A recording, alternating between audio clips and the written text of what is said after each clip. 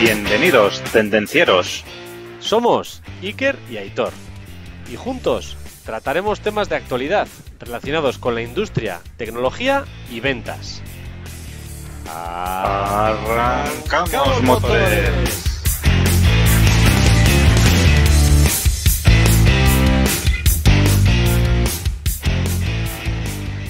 Muy buenas tardes, Aitor, ¿qué tal?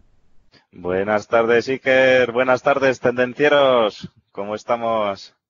Pues bien, por aquí bien. Después de un puentecillo que hemos tenido pasado por agua, nos queda una corta pero dura semana. Muy bien, esta semanita se va a pasar volando.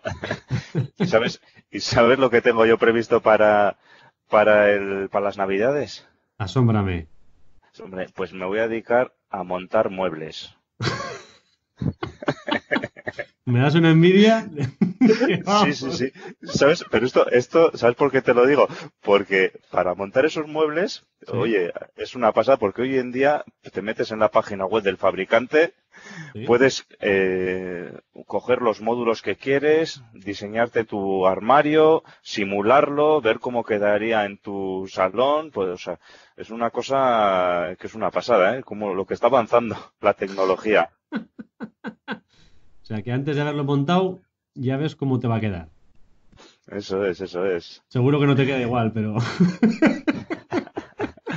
Bueno, yo soy bastante manitas, ¿eh? ¿Eres manitas? ¿Eres de los que siguen las instrucciones? Yo, yo no, ¿eh? Yo soy, yo soy de los que se leen las instrucciones antes de empezar a montar. Yo no, yo no. Así que tendré que hacer Bueno. Y esto, esto, Iker, ¿para qué lo decimos? A ver, hoy vamos a hablar de la industria 4.0. ¿De qué vamos a hablar? Hoy nos toca la simulación, entre otras cosas. Y todo lo relacionado con ella. ¿Qué te parece? Muy bien. Pues muy bien, explícanos, explícanos un poco a ver qué es la simulación. Pues vamos a empezar por eso, vamos a empezar por qué es la simulación. Pues la simulación es un, un proceso en el cual eh, tratamos de diseñar o armar un modelo virtual en el cual, pues considerando diferentes variables, que pueden ser de todo tipo, económicas, políticas, geográficas, de producción, bueno, independientemente de lo que vayamos a simular, hacer un modelo virtual de algo real. Sí, simulación, claro, aquí pensamos todos, yo te he hablado de hacer un modelo 3D, pero no es solo eso. No, claro, cada modelo 3D pues se le puede dar, pues al sofá se le puede dar una textura de cuero. Ah, se le puede dar un movimiento para ver si realmente cuando me reclino eh, pego contra la pared o contra otro elemento. Entonces al final requiere de pues dar una serie de características o de variables a esos elementos para luego pues poder simularlos realmente, no es solo Muy bien. verlo. Muy bien. ¿Y en la fábrica 4.0 cómo hacemos?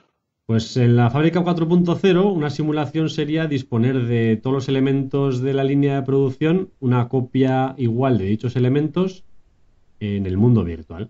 Al final de estos elementos pues se comunicarían dentro de sí, eh, pues bueno, a través del Internet de las cosas o a través de los servicios que queramos. Pero sería eso, simular esa producción y que tengan una interacción los elementos entre ellos.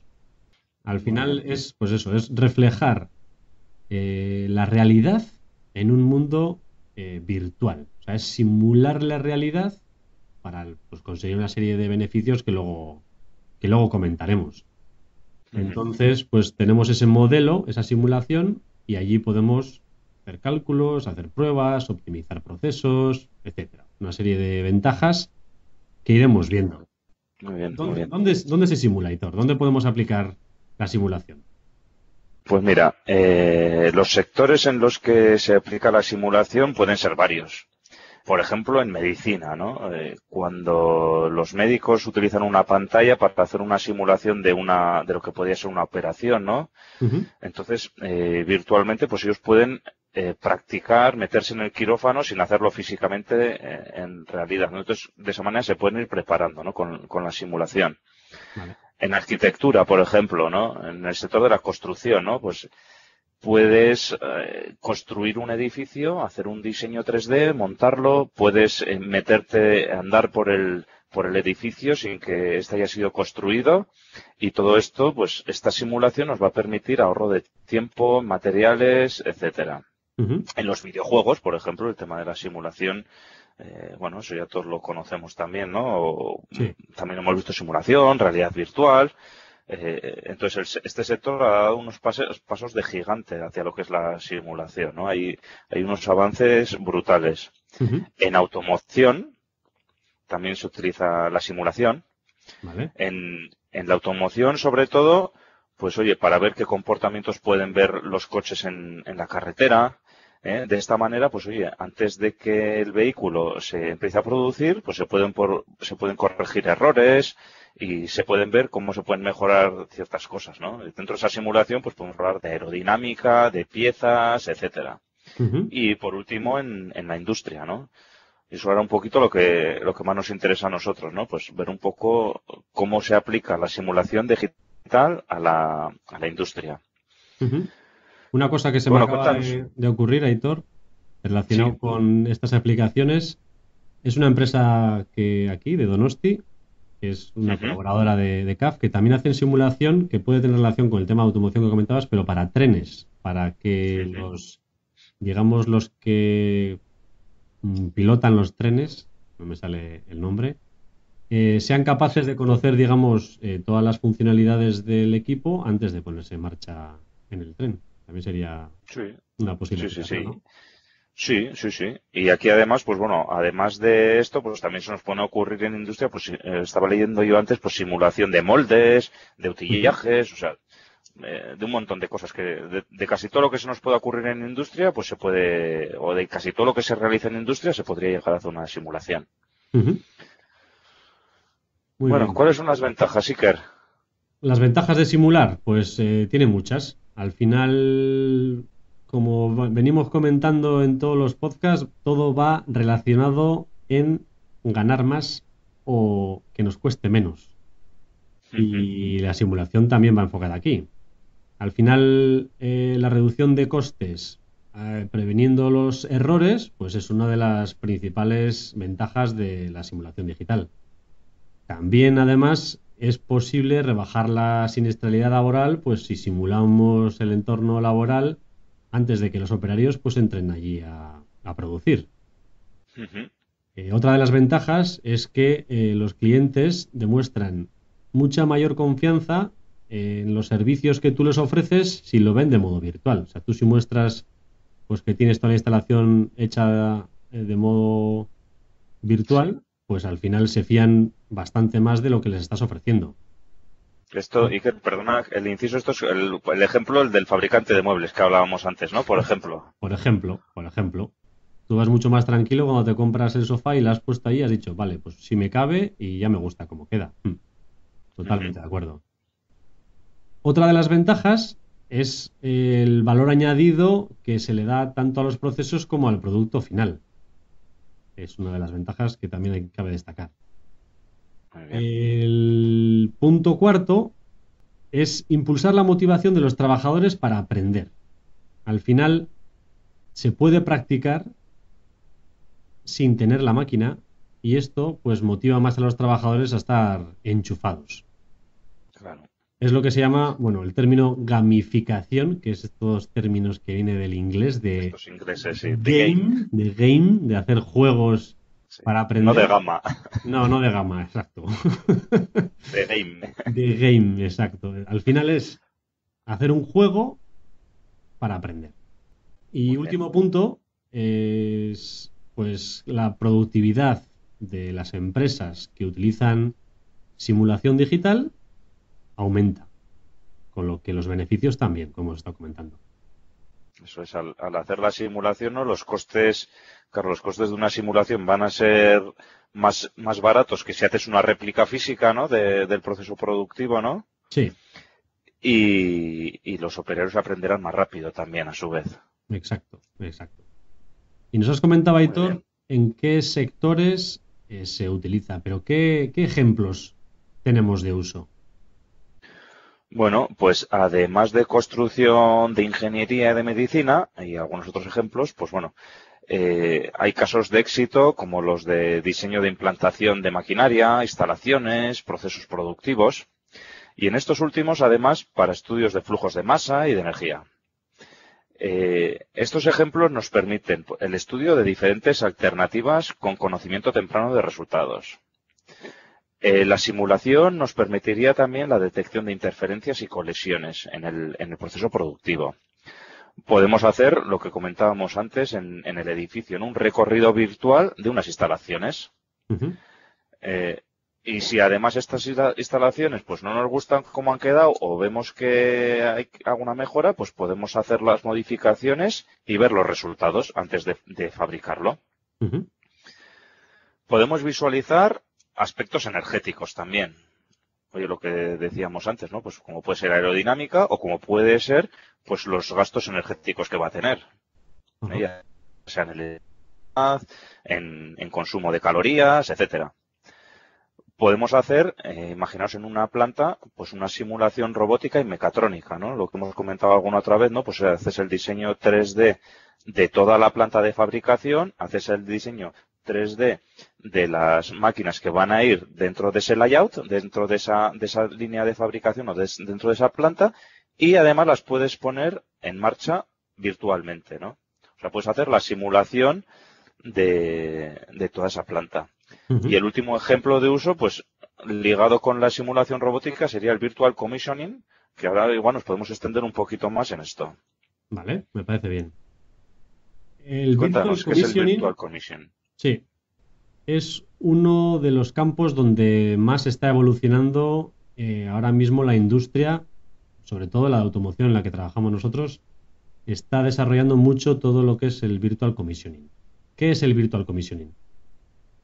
Es lo que hemos comentado, es una simulación de tener el ambiente eh, real en un ambiente virtual, como el gemelo digital, y poder interactuar con él y con dispositivos del mundo físico. Es decir, eh, tenemos una instalación.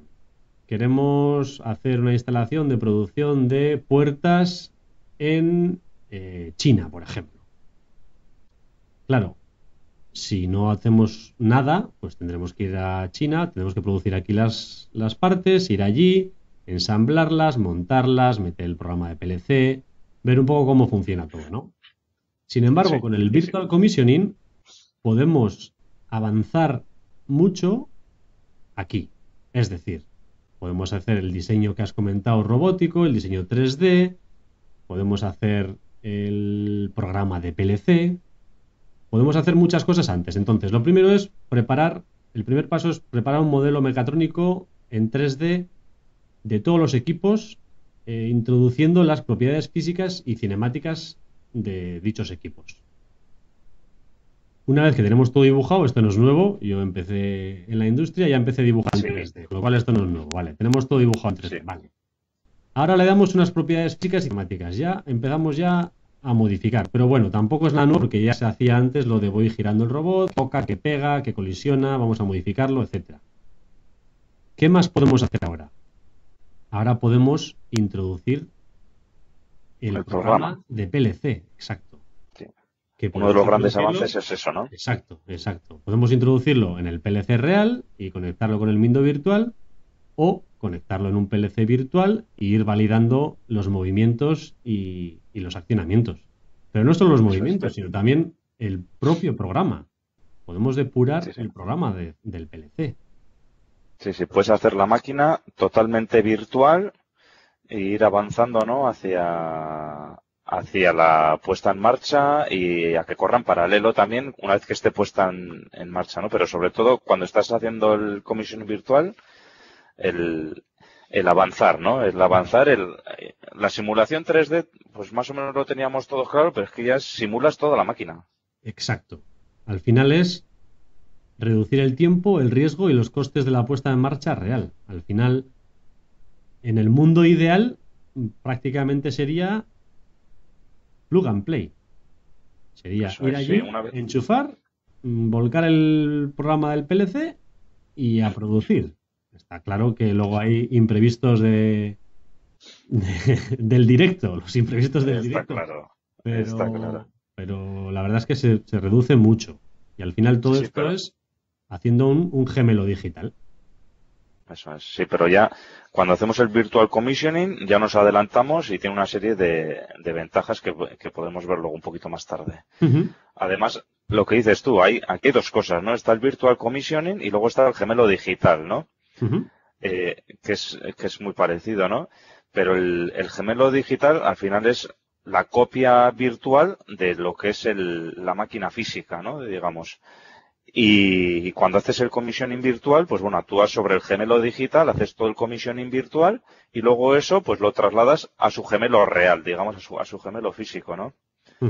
Y entonces, eh, lo bueno que tienen los gemelos digitales es que son capaces de exprimir pues todos los beneficios de la transformación digital de la planta.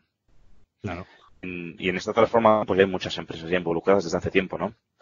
Entonces, los gemelos digitales son representaciones vivas de los dispositivos. Hemos dicho que hemos hecho el comisión virtual, pero luego una vez que está trabajando la máquina, el gemelo virtual, el gemelo digital, pues va a estar trabajando también en paralelo a él, ¿no? Mediante sistemas ciberfísicos, ¿no? Y luego, pues bueno, con información que cojamos de la planta, histórico de operaciones, mantenimiento, pues a eso le aplicamos técnicas de Machine Learning, ¿eh? ese concepto que a mí me gusta tanto. ese no tiene traducción, ese te lo dejo ahí todo. Ese no tiene. Eh, no, voy a, no voy a intentar una traducción. y entonces podemos sacar modelos de alta precisión del comportamiento que se van a asemejar fielmente a lo que es el sistema real. Vale. O sea, si no, si no he entendido mal, Aitor, Sí. El virtual commissioning que he comentado yo, al final es pues hacer un, comisionado virtual, ¿no? Traduciéndolo un poco al castellano. Pero claro, el gemelo digital va más allá. O sea, es la realidad de la planta productiva. Eso es. El gemelo digital, eso es. El gemelo digital es que tú primero, eso que vas a hacer realmente lo simulas en un entorno virtual.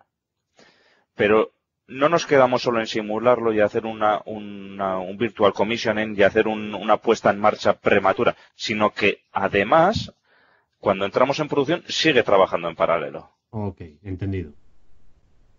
Entonces, esto eh, nos va a permitir pues detectar problemas antes de que ocurran, nos va a permitir planificar tareas de mantenimiento y evitar paradas inesperadas, nos permitirá construir nuevos escenarios de funcionamiento más eficientes, ¿por qué no también desarrollar nuevas oportunidades de negocio y planes de fabricación? E incluso, pues, realizar previsiones de futuro. Pero, pero, todo esto está muy bien, ¿verdad? Y que es muy bonito. es muy bonito, Hitor. esto es la leche, pero, pero sí que es cierto que el gemelo todavía es un concepto que está en desarrollo, ¿vale? Porque tiene una serie de, dificultades, ¿no? La primera de todas y la más grande es que tiene una dificultad técnica muy grande porque hay que monitorizar masivamente eh, procesos y digitalizarlos de una gran variedad de equipos, de sistemas que en algunos casos están aislados, otros que están corriendo con buses de campo que son antiguos o protocolos que son propietarios. Y entonces, pues todo esto es un hándicap para, para lo que es la, la, idea del gemelo digital y del virtual commissioning. Luego, por otro lado, los segundos, o sea, los sistemas utilizados actualmente en, la industria, pues tampoco son capaces de almacenar y de tratar todos los datos necesarios para crear eh, el concepto de gemelo digital hay que tener en cuenta que en industria no es como nosotros con el teléfono móvil que estamos conectados a una nube con, eh, a una nube al big data. En industria normalmente eh, las cosas están mucho más restringidas y entonces no hay esa capacidad tan grande. Eh, y por último, pues bueno, el concepto de gemelo digital también tiene una capa, una complejidad tecnológica que es necesario ir más allá de lo que es la representación digital, ¿no? E incluso, eh, una vez que tú tienes tu gemelo digital, el por qué no hacer varios gemelos digitales de un mismo proceso productivo, de una misma máquina, y poder evaluar así escenarios alternativos. Entonces, como ves, el tema del virtual commissioning, pues bueno, va avanzando poco a poco, ¿eh? cada vez se va haciendo más cosas, eh, incluso el gemelo digital, los gemelos o los twin, bueno, los gemelos digitales van avanzando, pero no es una cosa que sea sencilla ni que se vaya a implantar en los próximos años. Bueno, se irá implantando progresivamente, pero no va a ser un cambio radical que se implementará de un día para otro. Entendido, muy interesante, Editor. Me ha gustado lo que has dicho de diferentes escenarios para evaluar las consecuencias. ¿eh? La verdad es que tiene muy buena pinta. La verdad que sí, la verdad que sí. Bueno, ¿y qué te parece si comentamos ahora algunas ventajas del Virtual Commissioning? Venga. Antes hemos hablado Bueno, vamos a- genérico. Detallamos. Sí, las detall- sí, detallamos un poquito. Vale, ok. Eh, la primera que podemos mencionar es la eliminación de errores a tiempo. Al final, en el modelo 6 Sigma, eh, mundialmente conocido, se describe la importancia de detectar los errores en una etapa muy temprana, ¿no? Al final, cuanto antes detectemos los errores, menos coste tendremos. Es decir, Eso es. cada fase que pasamos se multiplican los costes por 10. Con lo cual, cuanto antes los detectemos, pues mejor, pues nos evitaremos multiplicarlos por 10. Entonces, es. la puesta en marcha virtual al final tiene ese potencial de poder ahorrarnos errores en el futuro. Eso es. Si ponemos, por ejemplo, Iker, puedes poner un ejemplo de un coche, ¿no? En el que el bastidor, imagínate que en la etapa temprana, pues no se hizo bien el bastidor. Entonces, si lo detectamos en ese punto, pues bueno, el coste será el bastidor. Pero si ese, ese coche sigue su proceso de fabricación, le montamos las puertas, las ventanas, el capó, las ruedas, pues eh, nos podemos hacer una idea y luego al final del todo nos damos cuenta de que estaba mal el bastidor, ¿no? Pues eh, ahí podemos hacernos una idea de lo que hablamos, ¿no? De- del coste de eliminar los errores a tiempo. ¿no? Pues sí, ahora mismo me acaba de venir a la cabeza, Hitor, gracias a lo que has comentado. Ahora me voy a, voy a generar unos cuantos enemigos, pero voy a contarlo porque no soy yo muy fan de nuestros amigos de Tesla. Y en uno de sus diseños iniciales, no recuerdo el modelo, pero realizaron pues un, un maletero. Era un era un cinco puertas, no, un cuatro puertas, perdón. Entonces realizaron un maletero que se abría únicamente el maletero y el cristal se mantenía, ¿no? Simulamos, nos imaginamos, ¿no? Un vehículo que se abre el maletero, pero el cristal de atrás se mantiene. Sí. Claro, el diseño era muy bonito, muy ergonómico, pero no se tuvo en cuenta en las épocas de lluvia que cuando abres el maletero, pues todo el agua que estaba en el maletero Ah. caía dentro del maletero. Claro. El coche va muy bien, es muy bonito, pero no hemos simulado, claro. ¿Qué supone Sí. eso? Pues es Cuando llovía grave. El agua caía para adentro, sí, sí. Exacto. Abres el capó y todo el agua que estaba ahí encima, ahí dentro. Así que Pues mira tú. La- y la de coches que tuvieron que fabricar hasta que se dieron cuenta, ¿eh? Hasta que llovió caro. y se quejaron unos cuantos, efectivamente. Entonces, pues bueno, ahí está otro ejemplo más de eliminación de errores a tiempo. Sí, sí. A ver, pues seguimos con las ventajas. Sí, A ver, se pueden, con las ventajas se puede hacer que una máquina sea productiva de forma más rápida y fiable. Eh, porque se pueden probar escenarios hipotéticos sin riesgo, ¿no?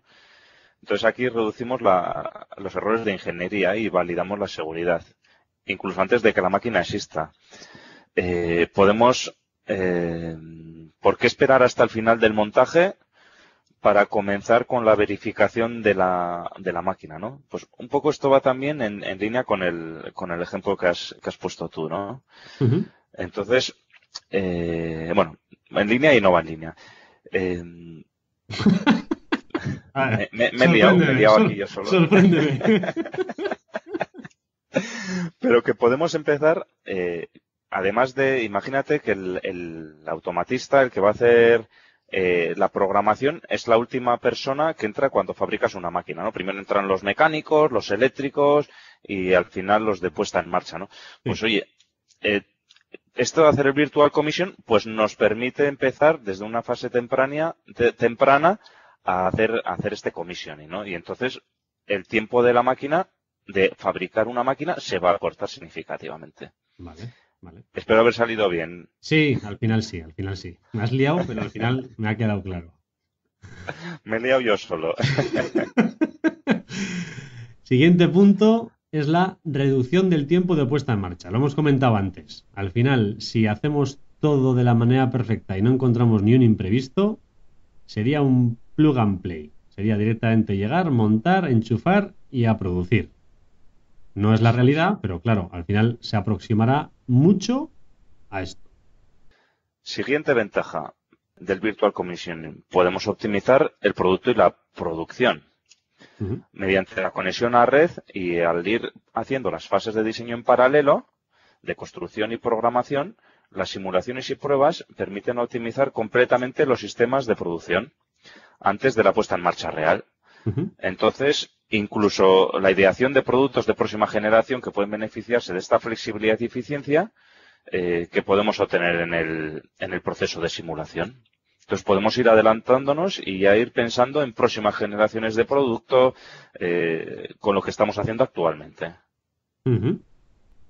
Y ya para acabar, uno de los últimos puntos de ventajas, podríamos decirlo, bueno, podríamos decir dos, podríamos decir dos ventajas adicionales eh, en el último punto, que una de ellas sería eh, poder simular otras variantes del proceso productivo antes de entregar la máquina. Si tenemos algún proceso concreto que no estamos del todo seguros, pues podemos simularlo y antes de, ponernos a fabricar, a producir, pues tener ya eh, valorados todas las posibles variables. Sí, por ejemplo, eso igual puede ser un layout, ¿no? De, oye, pues un layout de una, de una línea, ¿no? Oye, pues hacer este layout pues voy a, oye, voy a tardar, el OE va a ser de este o el tiempo de ciclo va a ser tal. Y si igual cambio el layout, pues igual puede mejorar. Pero como no lo tengo claro, pues lo simulo, ¿no? Lo simulo, exacto, exacto. Y para acabar en este mismo punto de temas adicionales puede ser la formación, lo hemos comentado antes. Al final se puede servir este virtual commissioning para formar a los operarios, para que los operarios pues vean cómo funciona una pantalla, para que sepan un poco cómo va a ser el proceso de seguridad de una máquina. Bueno, pues para que tengan un poco claro muchos conceptos de la producción antes de que realmente la máquina esté allí. Con lo cual, pues es otra ventaja adicional. Sí, es lo que decíamos, lo que decíamos antes, ¿no? el ejemplo que ponías tú del, del maquinista de trenes, ¿no? Pues oye, pues Ahí está, maquinista, gracias, Aitor. se puede hacer en un entorno virtual esa simulación, ¿no? Y va a ser más económico que si ponemos una máquina entera, ¿no? De, tren, ¿no? Por ejemplo. Claro, y menos, menos arriesgados si se empieza a chocar. Sí, o los simuladores de vuelo, ¿no? También, hablando de simuladores de tren, pues los simuladores de vuelo, ¿no? Que, utilizan también los pilotos en sus prácticas. Exacto, sí, señor. Bueno, ¿cómo resumimos el tema? Sí, ya estamos llegando al final, ¿eh, Iker? Sí, yo creo que le hemos dado un buen repaso, ¿eh? Sí, sí. Pues bueno, a ver, al final la simulación es lo mismo, que es reflejar lo que tenemos en el mundo físico en un modelo virtual, con la mayor exactitud posible dentro de, dentro de lo que se puede, ¿no? Y luego el Virtual Commission, Commissioning, eh, que es la idea de tener un ambiente virtual eh, y también hemos hablado del, Digital Twin o del gemelo digital para poder hacer una puesta en marcha prematura, interactuar con los dispositivos en el mundo físico y, un poco pues esto lo que hemos, lo que hemos comentado de la, de la simulación y del virtual commissioning. Muy bien, muy bien. Pues y bueno, Iker. Ha quedado claro. Sí, sí. Esta semana que tenemos reto o qué tenemos, Iker? Yo creo que mejor que un reto, una reflexión porque al final un reto en este campo pues va a ser muy complejo para la mayor parte de nuestros tendencieros, con lo cual la reflexión podría ser qué cosas hacemos, por ejemplo, ahora virtualmente que antes hacíamos físicamente. Por ejemplo, en algún capítulo hemos dicho mandar un fax. Ya muchos de los oyentes no sabrán ni lo que es un fax pues es, el antiguo email. El email, eso es. Hacer una llamada de teléfono, ¿no? Que ahora que nos conectamos por Teams, por Zoom, por Skype. Bueno, por Skype no, que ya he visto que lo van a quitar. Dentro de unos años oirá algún, alguno de Skype y dirán, ¿qué es eso? ¿Qué era eso? lo que hubo después del teléfono y antes del, y antes del Teams eh, fue el Skype. y antes del Zoom, el Skype fue el primer, el primer software de gestión, sí, señor. Otro ejemplo de realidad, pues, pues puede ser antes, pues tenías que ir a ver una casa y ver la realidad después de estar fabricada la casa. Hoy en día, pues puedes ver una simulación 3D del layout, de cómo están hechas las paredes, etcétera, sin tener que ver Básicamente con los planos y sin la casa hecha puedes decir me gusta o no me gusta. O puedes decir que te lo cambien o lo que sea. Eso, eso, adáptame esto aquí o oye, quítame esta pared que quiero cocina y salón juntos o lo que sea. Sí, exacto. Muy bien, oye, pues Oye, con estas ideas que, hemos dado, Iker, yo creo que lo más adecuado sería que ahora nuestros tendencieros industriales nos dejaran unos comentarios ahí y que hagan sus propias reflexiones y las compartan con nosotros sí, y con el resto de la comunidad. Me parece una propuesta adecuada. Buena semana, Hitor. Y pues mucha, bien. mucha acción, tendencieros. Muchas gracias, Iker. Buenas tardes, tendencieros. Hasta aquí el tema de hoy. Esperamos que te haya gustado. Si es así, suscríbete, comparte y dale al me gusta. Puedes proponernos temas, dudas y demás consultas en comentarios y en LinkedIn. No lo dudes, te ayudaremos.